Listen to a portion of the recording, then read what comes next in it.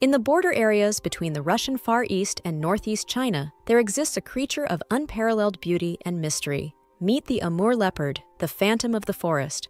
Amur leopards are the rarest big cat in the world. Listed as critically endangered since 1996, there's only around 100 Amur leopards in the wild. Experts predict that by the year 2030, the Amur leopard may vanish from the wild forever. Habitat loss and infrastructure development, combined with illegal poaching for their exquisite fur, has pushed this species to the edge of oblivion. But how do Amur leopards differ from other leopards? Amur leopards have a paler coat than most subspecies of leopards and large, dark, widely spaced rosettes with thick, unbroken rings. Since they are so well adapted to living in the harsh, cold climate of the Russian Far East, they have a thick coat that can grow as long as 7 centimeters in winter. Will we allow such a masterpiece of nature to disappear forever?